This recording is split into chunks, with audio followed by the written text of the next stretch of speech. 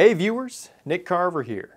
And this is a tutorial on how to scan film using your Epson Perfection film scanner. So whether it's a V700, V750, 800, 850, whatever you got, we're looking at how to scan film on it. Now we're not doing a fluid mount scan today. I'm actually going to do a separate video just on how to wet mount scan using your Epson. Today we're doing uh, what I would call quick and dirty scans. Um, the wet mount scanning yields better results, but it is very uh, time consuming and it's, uh, it's a lot of work. So when you get a new roll of film back, you got to get that baby out, man. You got to post it on your Instabooks and your Facegrams right away. So we can't be doing a fluid mount on every single, uh, every single scan. So we're looking at uh, dry scanning today. It's going to yield excellent results. It's just not quite as good as a, as a wet mount scan. Now these scans are going to be plenty big for uh, posting to your website, sharing on social media, and you'll even be able to print from them. You just can't print huge. You know, if you're going to do a six foot wide piece, you want to do a wet mount scan or get a drum scan made. But these will be good for, you know, medium to small size prints. Um, by the way, uh, you like my light table cover? I have a matching Epson cover. Both are made by uh, Stone Photo Gear. He's a great guy who does great work, makes all sorts of uh, cool pouches and things for us film shooters. So uh, if you want to get yourself a nice Epson dust cover, check out Stone Photo Gear. Mine fits like a glove. We're still doing Ace Ventura, right? Now we will be using the film trays that come with your Epson. And it seems like people rag on these, but I think it's just because they haven't unleashed their full potential. There's something about these trays that is very, very very important to know in order to get the best quality scan. And it seems like nobody knows about it. So let's take a look at the back side of the tray here. You'll notice on each one of these trays there's these, these little feet on the back side. And they're all point, they all have an arrow on it and they're all pointing the same direction. Right now mine are all pointing towards a zero mark. These little feet here, they actually pop out and you can either leave them out or put them back in the other direction. These feet are how you adjust the focus on your scan. Basically, when they're all pointed towards zero, this uh, tray is basically at the factory setting in terms of uh, scan height, uh, focus height. And that might not be exactly what you need because as great as these scanners are, there's minor differences between them when they manufacture them. They can't make them all perfect. So if you were to take all these feet out, turn them around, and point them towards the plus, it will raise your scan just slightly to change the focus. If you were to take these feet and pull them all out and just leave them out, it will lower your scan just a little. So it's really important to get these things set right. And you just have to do it through trial and error. Try a scan at zero, try it at plus, try it with the, the feet out completely, so at a minus. See which one looks best. I know that on my scanner, um, I get the best results at plus. So as you'll see on this image here, um, minus is definitely soft. It's not perfectly in focus. Zero is pretty good, but plus is a little bit better. It's not a huge difference, but it's enough to make me want to put them all at plus, and I get better results than just leaving it at zero. So today I'm going to be scanning uh, a piece of 645 medium format color negative film. And I shot this image, or actually we're, we're going to scan two pictures here. Um, I shot these images in Maui using a uh, Fuji GA645ZI, which is a fun little um, medium format kind of point and shoot camera. That's what I like about it. It's like medium format point and shoot. Now when you load up the film in the tray here, be sure to put it face down. So in other words, you want the, the film brand written across the top, like mine says Kodak, you want that to be reversed. You want to be looking at the image from behind. So place it face down, butt it up to the edge of the tray so that the black border around the image is mostly covered. And then what I like to do actually is I've cut out these little pieces of black construction paper and I typically lay these over the, the border of the last frame, just like so. And I do that for a couple reasons. One, it gives it a little more rigidity. When I collapse it, the, the, front, the film will flatten out a little bit better on the end. But mainly, I like to cover up the boundary between frames, the, the clear portion, because you can actually get flare uh, from the scanner light kind of creeping around the image. and that will create a little bit of a glow around the edge sometimes. So in fact, if you're only scanning one photo, it's not a bad idea to take a piece of construction paper like this and cover everything except the image. You know, cover up the border, cover up the other photos, and then that way you're only seeing just the image you're planning on scanning, and that'll minimize any possibility of flare coming through. But if you're planning on scanning all four negatives or any portion thereof, I just like to cover the border on the last one. All right, now we're gonna blow, hit it with some air, get the dust off, uh, I prefer an air rocket, a hand-powered air rocket like this, um, because if you use compressed air, it is a lot more effective, but you might get little sprays coming out of it sometimes of the material, you know, the that stuff. You don't want that hitting your, uh, hitting your film. This baby's re ready to load up, so we're gonna drop it on the Epson.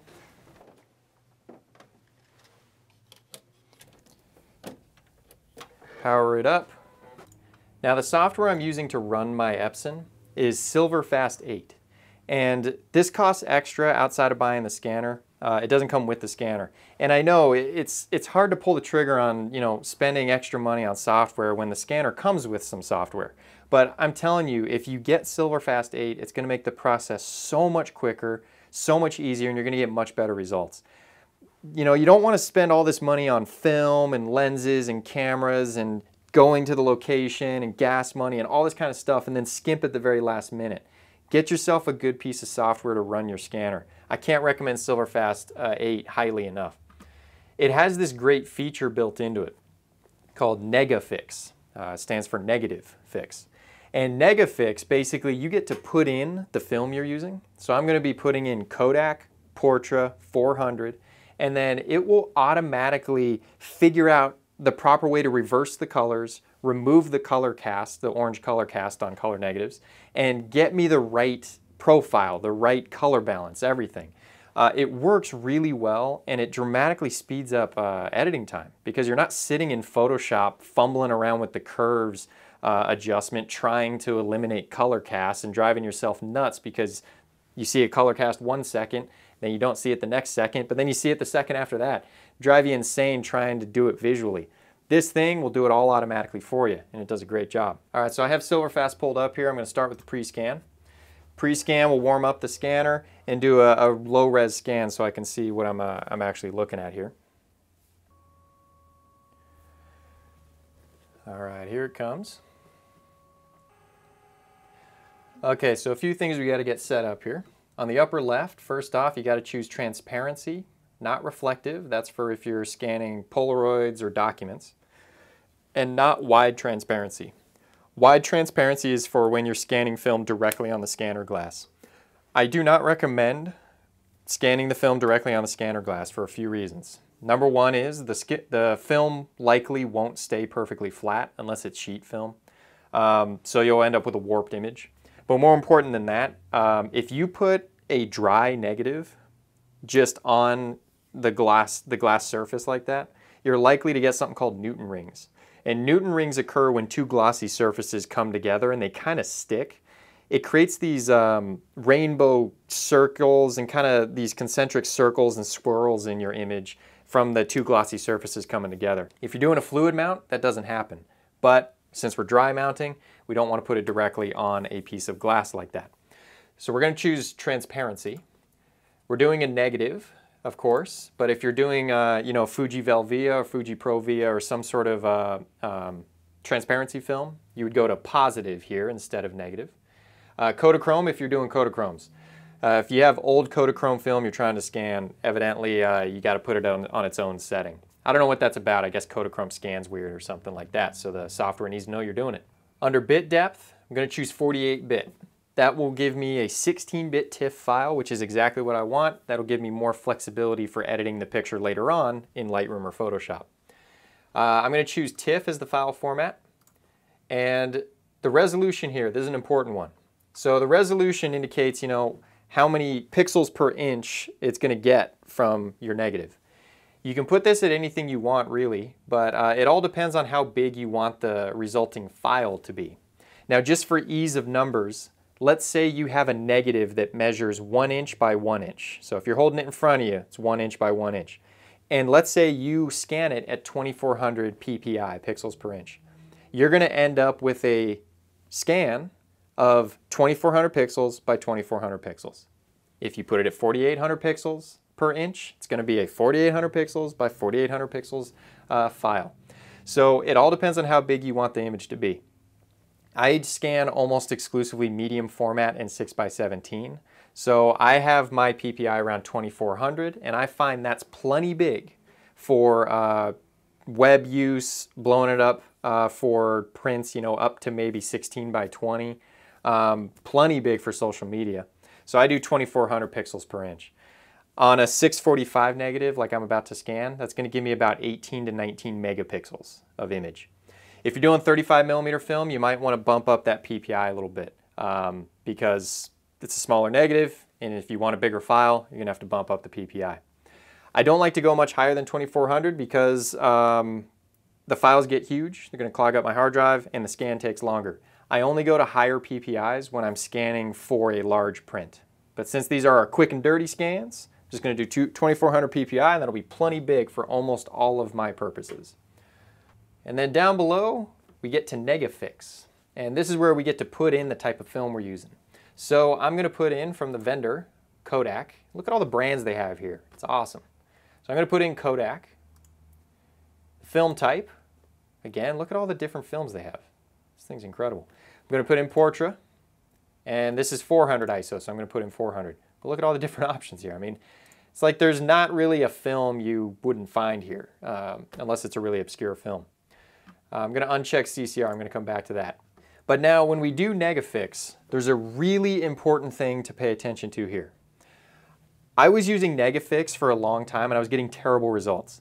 It never seemed to give me consistent results. The color casts were funky. It's just like, it wasn't doing what they claimed it did. And I'm just like, ah, this thing's, you know, this thing's a gimmick. It doesn't actually work. And then I went to the Silverfast website and I read up on it. I actually read the instructions. Imagine that. And Silverfast states, not clearly, but they do state this, make sure the frame is within the image area, not including any border. So in other words, if I'm going to scan, uh, say, image number two right here, I need to make sure that my scanning frame, this red box, does not overlap the border of the image at all. When I started scanning, I was always including the border. So I had my film uh, area basically bigger than the image area because why not? You know, I'll, I'll fine tune it later. I'll crop it later in Lightroom or Photoshop. I, I might as, I, no reason to get super nitpicky here. I'll do that later. Little did I know, that's why my results were so crappy. So you need to take this um, scanning area, this frame, and pull it within the border.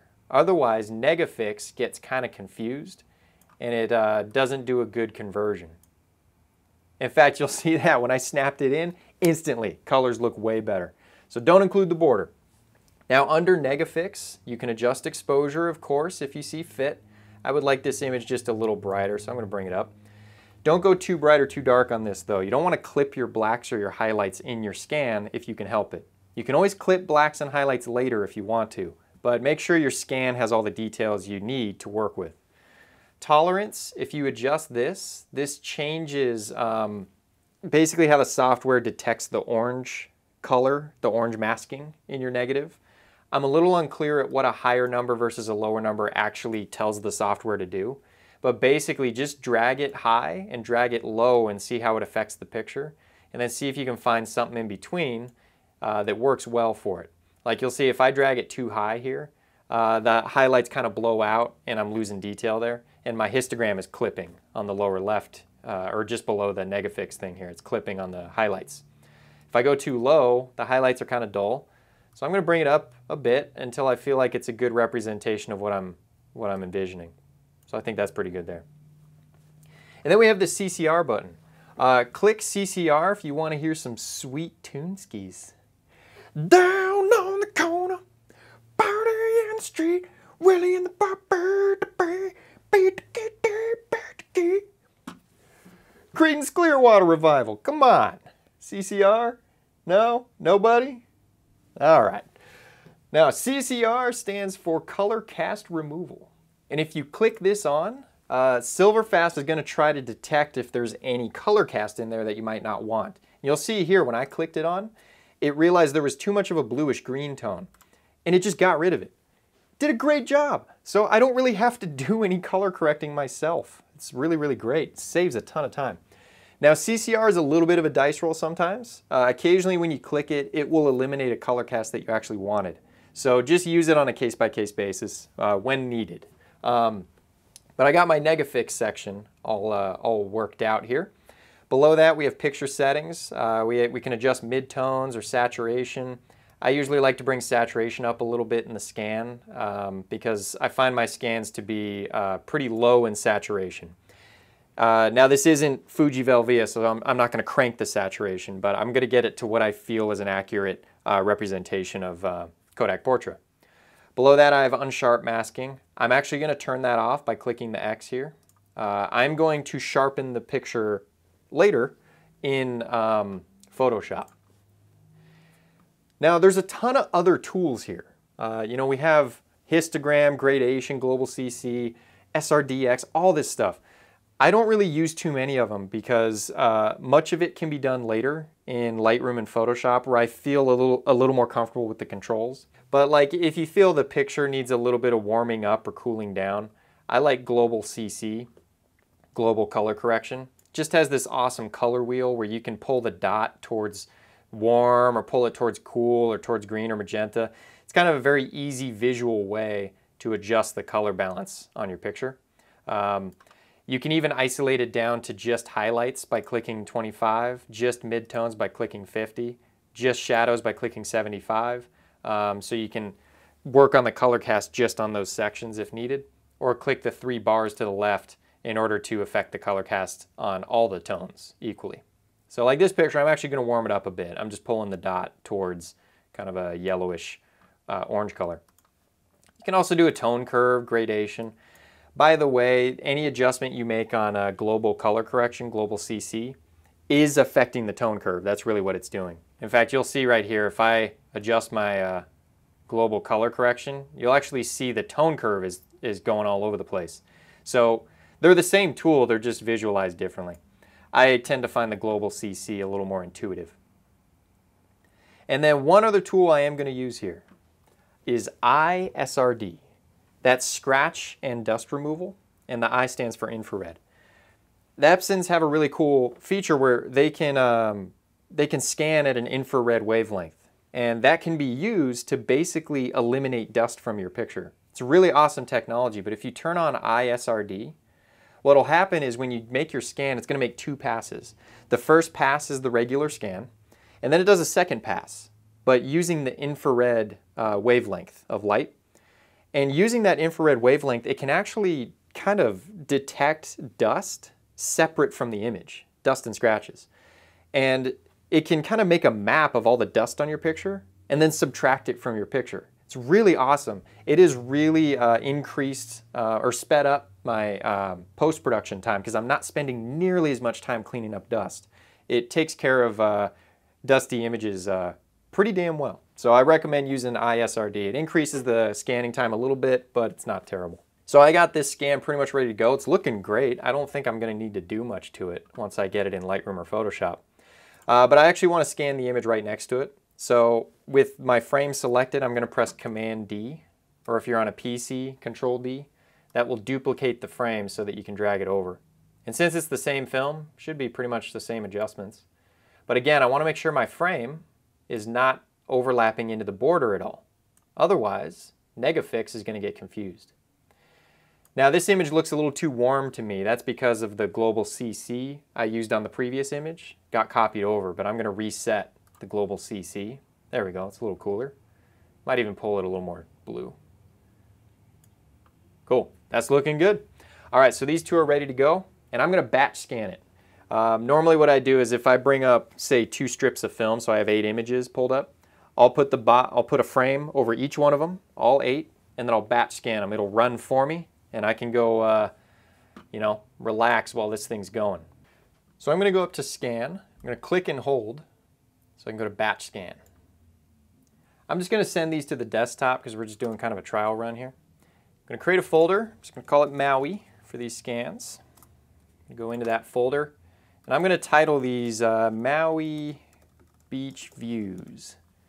And then I want it to add a 01, 02, 03, whatever at the end, separated by a space. Then we click scan, and it starts. Scanning process can sometimes take quite a while, especially if you're at a really high PPI and um, it's a large negative.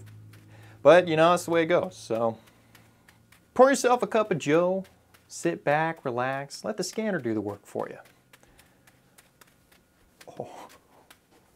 Oh. All right, first one's done. Let's take a look at it. All right, now I'm gonna eventually bring this into Lightroom. I prefer doing my edits in Lightroom because A, it has excellent file management so I can find my, my negatives easier. But also I like the non-destructive editing aspect of it. I don't have to worry about ever messing up my original raw um, scan. But I am gonna bring it into Photoshop first for one reason and one reason only, which is to sharpen it. I recently discovered uh, Smart Sharpen in Photoshop. And uh, I know I'm a Johnny come lately to this, but uh, if you go to filter, sharpen, smart sharpen, it's incredible to me how well it sharpens the picture. Um, really improves the quality of your scan.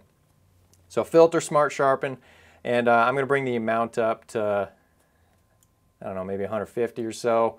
Do it on a case-by-case -case basis. If your picture has a lot more details to it, you can probably bring the amount up higher. But if it's a lot of smooth areas, Maybe don't go so high, it'll start to sharpen the grain. The radius, bring that up high if it's a large file. Don't go too high if it's a smaller file. And there's a kind of a telltale sign that the radius is too high. If you bring the radius too high, you'll start to notice halos around things, around edges. So you'll see if we look at like these palm trees here, they have these glowing edges. That's the radius being too high. Um, so I'm going to bring the radius down until those go away. But I don't want to go so low that the uh, sharpening isn't really doing anything. So I'm going to bring the radius up until I see a little bit of haloing, like right there, and then I'm going to back it off until that goes away. Good. All right, so Smart Sharpen is really, really effective. I'll show you. I'm going to look up at the palm tree fronds here. Um, there's with it off, there's on. So off, on.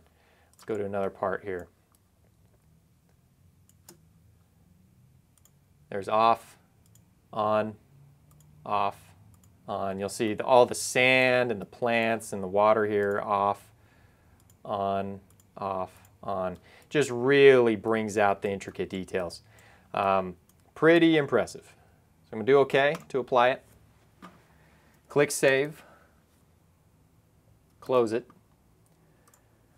Then I'm going to do the same to the second file. Pull it into Photoshop. And I'm going to go up to Filter, Sharpen, Smart Sharpen. Oh man, that's working wonders. Let's look at these buildings back here. Yeah, it's crazy. There's without, there's with. Without and with. The rocks too. Everything's way sharper.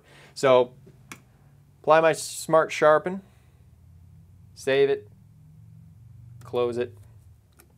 Now I'm going to bring them into Lightroom.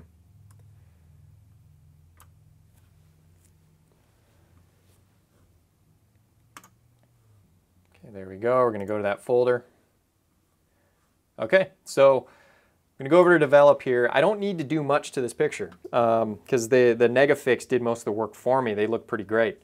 Uh, but I think on this one, I'm just going to, um, to move the black point a little bit. I'm going to uh, deepen up the blacks slightly. And I'm also going to push the highlights just a little higher. So I'm going to basically add some contrast. That's really what I'm doing here. So I'm going to reduce the blacks, then push the whites up. So here's before and after, before and after. Very minor. I'm also going to try pushing the highlights up so that all these layers back here a little brighter. Before, after. Uh, I do want to increase the colors a little bit. I feel like it should be a little more colorful. I'm going to boost vibrance first and then saturation. The difference between those two, by the way, uh, vibrance, A, will leave skin tones alone. So if you're doing portraits, much better, to much better to boost vibrance than saturation. Saturation will make skin tones look yellow and uh, pinkish or whatever. Uh, but vibrance is also smarter than saturation in that it kind of identifies the weaker colors and affects those more. So if it identifies that the blues and greens are weakest, it's going to push those harder. Uh, where if it identifies maybe the yellows are weakest, it's going to push those a little harder. Um, it does affect blues and greens most though, simply because it's trying to leave skin tones alone, which are in the uh, yellow-red color spectrum. So I'm going to boost vibrance first to kind of bring up the weaker colors, and then saturation on top of that to push them all up. Um, so again, here's before and after. So very minor change, you know, I'd really just boosted the contrast a bit, boosted the color a little bit. Now I just want to show you, I'm going to zoom in. Notice anything missing? There's no dust, baby. That ISRD works so well. Uh, my negatives always have dust on them. Uh, and I'm a clean guy, but uh, you just can't avoid dust on a negative. Um, so I highly recommend using ISRD on your color, uh, color film. Unfortunately, ISRD doesn't work on black and white film. In fact, if you try and select it on a black and white film, I believe it'll tell you, hey, you can't do the infrared. It doesn't go through black and white film like it does color. So unfortunately, not so much on black and white film. But on color film, really reduces how much uh, dust cleanup you're going to have to do later. But this image is looking pretty good. Um, let me push the blacks just a little lower. There we go. I'm liking that. Uh, now, of course, if I want to adjust the temperature and tint, I would do that under white balance, but I think it's looking pretty good. I'm going to copy these settings to the next picture because uh, they are the same film in the same location. I got to rotate this. Command bracket, bracket left or bracket right, or control bracket will rotate. Now I'm going to paste. There we go. Looking good. This one I might make a little bluer. Just going to take the temperature and drop it down. All right. There you go. Two scans. Easy peasy, lemon squeezy. Now I've been calling these quick and dirty scans simply because we're not doing the whole wet mounting thing. But uh, really they're just quick. They're not dirty, baby. These things are clean. They're good looking scans. They're sharp. Um, so don't be afraid to use those scanner trays and do some dry scans. It's just if you're going to print up a wall mural, get a better quality scan. Do some wet mounting or uh, something like that. All right. Thanks for watching. Have fun scanning out there, kids. Be safe. See you next time.